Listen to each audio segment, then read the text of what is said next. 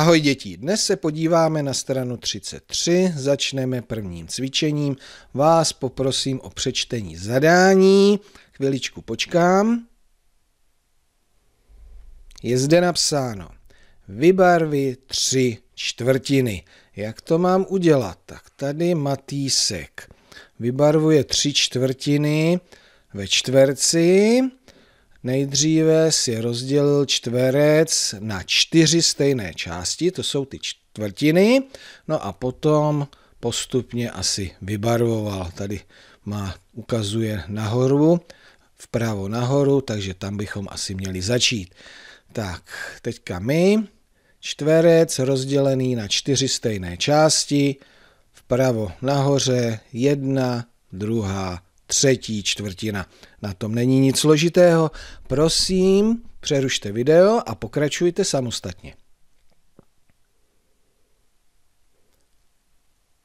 Děkuji. Takže dál jste pokračovali obdelníkem, opět rozdělený na čtyři stejné části a postupně jste vybarvili jednu, druhou, třetí, čtvrtinu.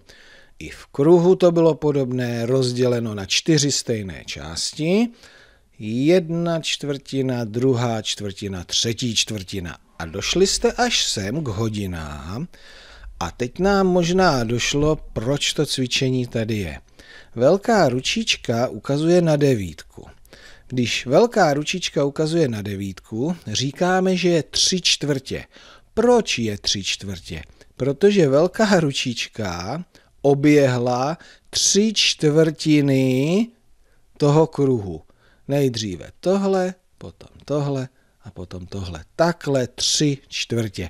Takže sem to mělo ústit a my už víme, proč se říká, že je tři čtvrtě na něco, když je velká ručička na devíce.